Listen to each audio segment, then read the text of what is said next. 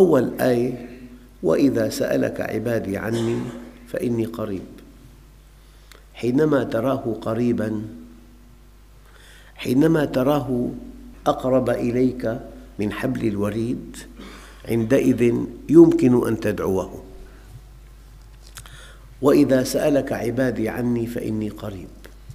أجيب دعوة الداعي. إذا دعان إذا دعاني حقيقة.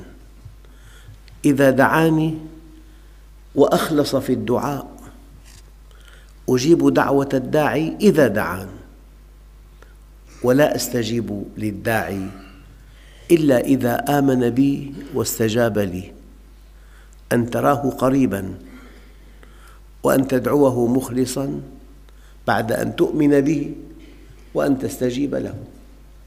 هذه شروط الدعاء. إلا أن العلماء قالوا يستثنى من هذه الشروط دعاء المضطر فالله يستجيب له لا بأهليته ولكن برحمته. ويستجيب الله عز وجل للمظلوم ولو لم تتوافر فيه شروط الدعاء لأنه يستجيب له بعدله. لذلك إياكم ودعوة المظلوم. فإنه ليس بينها وبين الله حجاب. النبي عليه الصلاة والسلام يقول أفضل العبادة الدعاء. بل الدعاء هو العبادة. وإن أبخل الناس من بخل بالسلام وإن أعجز الناس من عجز عن الدعاء. أبخل إنسان من بخل بالسلام. السلام عليكم. بل إن أعجز الناس من عجز عن الدعاء. وليس شيء أكرم على الله من الدعاء. ومن سره أن يستجيب الله له عند الشدائد والكرب فليكثر من الدعاء في الرخاء. من سره أن يستجيب الله له. عند الشدائد والكرب فليكثر الدعاء في الرخاء. لكن من علو الهمة في الدعاء أن تحافظ على آداب الدعاء. ادعوا ربكم تضرعاً وخفية. ليس هناك من مبرر أن يعلو صوتك بالدعاء. بل إن سيدنا زكريا نادى ربه نداء خفيا. يمكن وأنت في ظرف عصيب.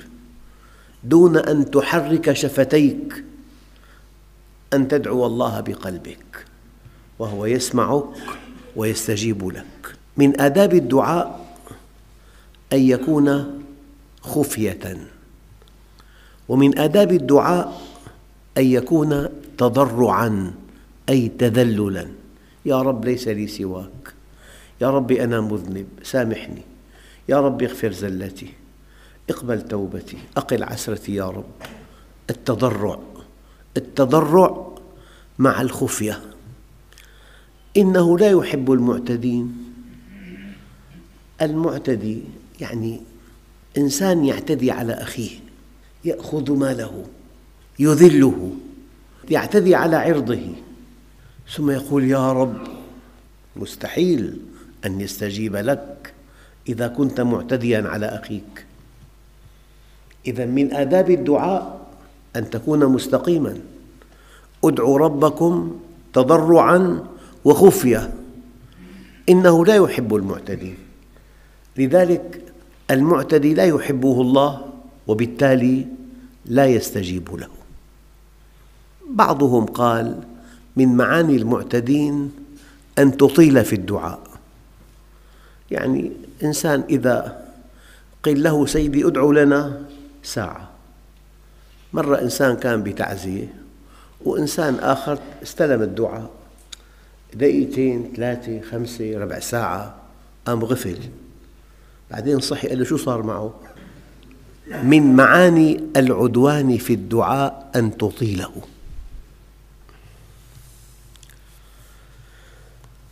إذا من علو الهمة في الدعاء أن تحافظ على آدابه أن تدعوه تضرعاً أي تذللاً وأن يكون خفية وألا يسبقه عدوان على مخلوق حتى يستجيب الله لك. ومن علو الهمة في الدعاء أن يفتتح الدعاء بذكر الله والثناء عليه وأن يختمه بالصلاة على نبيه عليه الصلاة والسلام. سيدنا يونس حينما وجد نفسه فجأة في بطن الحوت فنادى في الظلمات أن لا إله إلا أنت سبحانك. فالثناء على الله دعاء. يعني لو إنسان أمسك بابنك لا سمح الله وأنت خفت عليه منه. قلت له أنت رحيم. كأنك تقول له دعه. إذا لمجرد أن تثني على الله فهذا نوع من الدعاء. فنادى في الظلمات أن لا إله إلا أنت سبحانك إني كنت من الظالمين.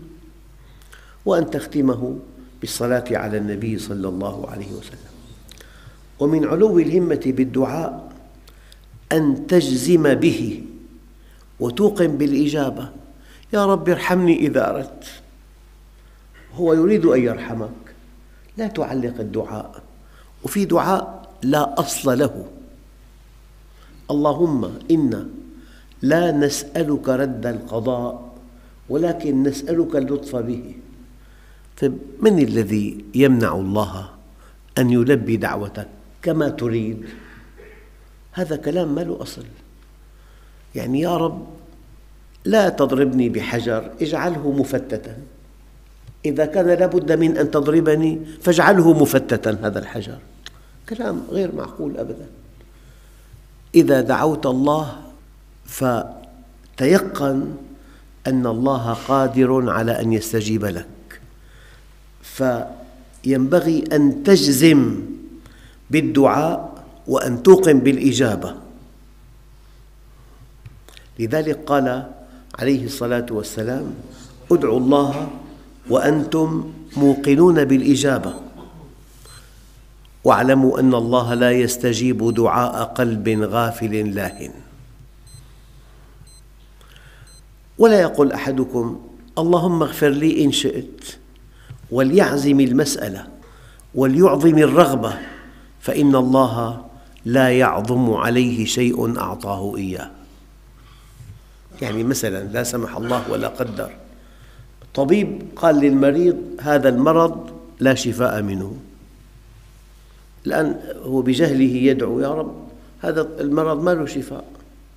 يا رب أعني على الصبر عليه. لا. قال له يا رب اشفني منه. ولو قال الطبيب ليس له دواء. ليس عند الله شيء مستحيل إطلاقا. اجزم وتيقن من الإجابة. إذا اغفر لي إن شئت ليس من أدب الدعاء. ارحمني إن شئت ليس من أدب الدعاء. فليعزم المسألة فإنه لا مكره له. وكان عليه الصلاة والسلام إذا دعا دعا ثلاثاً. يعني أول مرة والثانية والثالثة هذا هو الإلحاح بالدعاء. وإن الله يحب الملحين بالدعاء.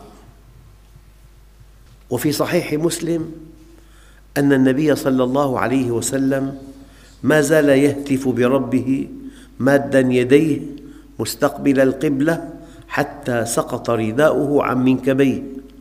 فأتاه أبو بكر فأخذ رداءه فألقاه على منكبيه ثم التزمه من ورائه وقال يا نبي الله كفاك مناشدتك ربك فإنه سينجز لك ما وعدك. يا بني سيدنا يعقوب اذهبوا فتحسسوا من يوسف وأخيه ولا تيأسوا من روح الله إنه لا ييأس من روح الله إلا القوم الكافرون. ادع مرة ومرتين وعشر مرات ومئة مرة فإن الله يحب الملحين في الدعاء. الآن من علو الهمة في الدعاء أن تعظم المسألة. يعني للتقريب ملك قال لك أطلب وتمنى. قال له يا رب أنا رصاص بس أنا قلم من ملك. قال له بيت. ومركبة ودخل كبير. إذا دعوت الله عز وجل اطلب منه الشيء الكثير الذي يبدو لك مستحيلا. وإذا سأل أحدكم فليكثر فإنما يسأل ربه. ومن علو الهمة في الدعاء الدعاء باسم الله الأعظم. اختلف العلماء أي اسم من أسماء الله هو الأعظم؟ وهناك اجتهاد رائع جدا أن كل اسم من أسماء الله الحسنى هو اسم الله الأعظم بحسب حالك. يعني أنت فقير اسم الله الأعظم المغني. أنت لا سمح الله مريض اسم الله الأعظم الشافي.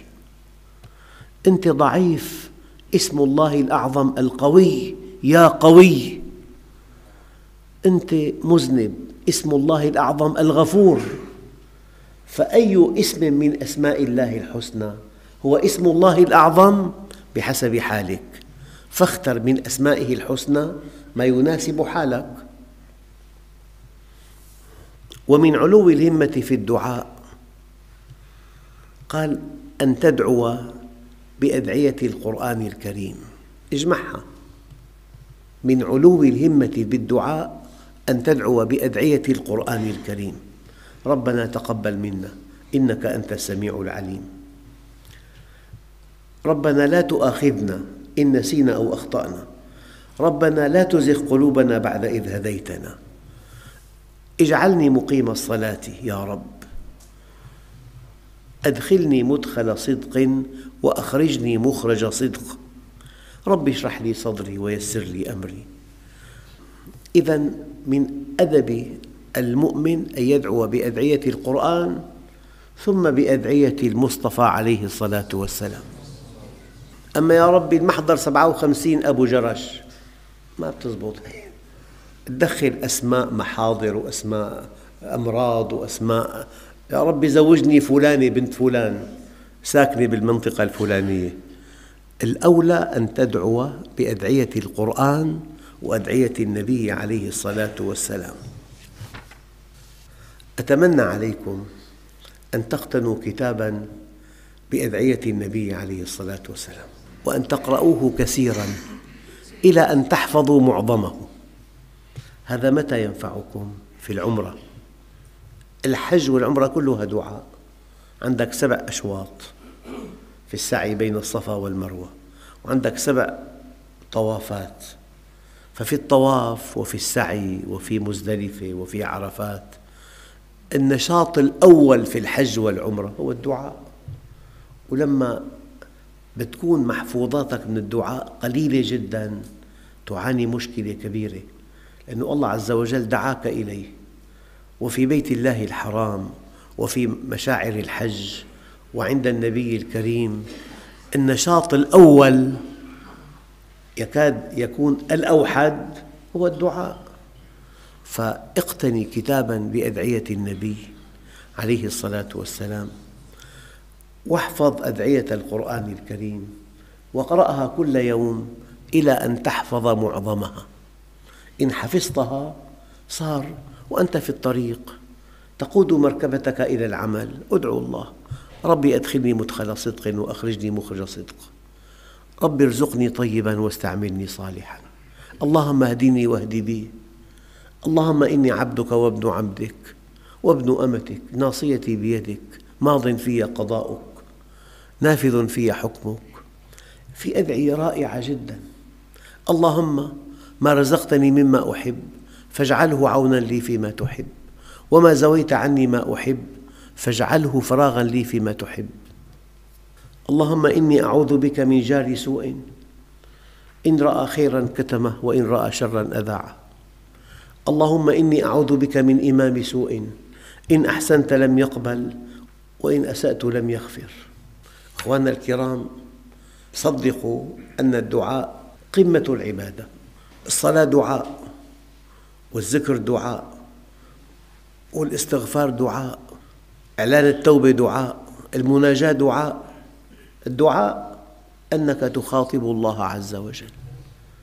ليس بينك وبينه وسيط وليس بينك وبينه حجاب. ابن آدم سلني حاجتك كلها. إن الله يحب من عبده أن يسأله شسع نعله إذا انقطع. إن الله يحب من عبده أن يسأله ملح طعامه. سلني حاجتك كلها. عود نفسك قبل أن تقابل أي إنسان. اللهم إني تبرأت من حولي وقوتي والتجأت إلى حولك وقوتك يا ذا القوة المتين. إن كنت طبيب قبل إجراء العملية في طبيب أعصاب قبل أن يبدأ بالعملية يصلي أمام المريض ويسجد ويدعو الله. يا رب ألهمني الصواب. أنت قوي بقدر دعائك. حينما تدعو الله عز وجل يسدد خطاك ويلهمك الكلام الفيصل الصواب ويعطيك هيبة. الدعاء يعني ملخص كل عباداتك ملخص صلاتك وصيامك. وزكاتك وحجك الدعاء المستمر. بل إن الله عز وجل حينما يقول والذين هم على صلاتهم دائمون كيف أنت في صلاة دائمة؟ الدعاء صلاة دائمة. فأدعو الله عز وجل واطلب منه كل شيء لكن إنه لا يحب المعتدين. أقول لكم هذه الكلمة المرة. حينما تعتدي على حقوق الآخرين حينما تعتدي على أموالهم حينما تعتدي على أعراضهم حينما لا تكون مستقيما لا تستطيع أن تدعو الله. أنت في حجاب مع الله. أما إذا استقمت هتك الحجاب وصار الطريق سالكا إلى الله والخط ساخنا بينك وبين الله. في خط يعني. إذا كنت مستقيما لهاتفك ونة أما إذا ما في استقامة في جهاز هاتف بس ما في ونة خط ما في. الخط مقطوع. أيها الإخوة موضوع الدعاء موضوع طويل جدا. هو العبادة. وفي بعض الأحاديث مخ العبادة. ومن لا يدعني أغضب عليه. فإياكم وغضب الله عز وجل. والحمد لله رب العالمين.